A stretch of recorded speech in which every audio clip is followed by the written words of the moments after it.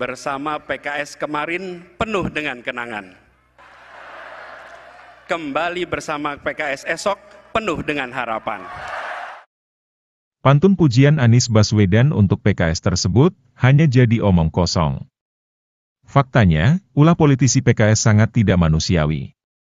Sebab, Wali Kota Depok Muhammad Idris, mau menggusur paksa SD Negeri 1 Pondok Cina untuk dibangun tempat ibadah.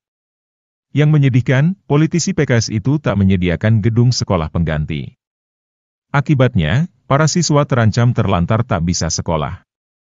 Makanya, para orang tua murid SD Negeri 1 Pondok Cina, nekat menolak tegas kebijakan wali kota rasa penjajah tersebut. Ulah politisi PKS di Depok ini termasuk pelanggaran hak asasi manusia. Sebab tindakan wali kota Depok termasuk tak menghormati hak dasar atas pendidikan dari para siswa SD Negeri 1 Pondok Cina.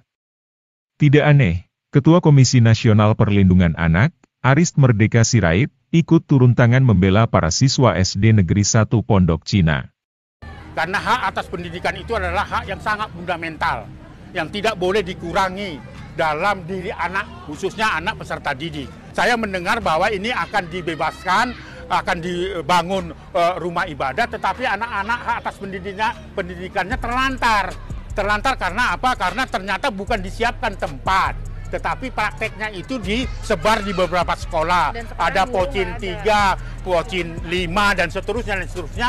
Bahkan sudah menarik gurunya untuk memberikan hak atas pendidikan itu. Di situlah pelanggaran yang di, uh, pelanggaran pidana ya yang dilakukan oleh wali kota karena ternyata wali kota kan mengizinkan guru-gurunya nggak boleh ngajar di sini kan begitu prakteknya ya lalu kemudian untuk apa menghambat proses ini supaya ini apa bisa dihentikan mendatangkan satpol pp. Oleh karena itu karena hak atas pendidikan merupakan hak yang sangat fundamental, saya datang ke sini menyaksikan gurunya ternyata juga nggak ada, muridnya belajar dengan relawan.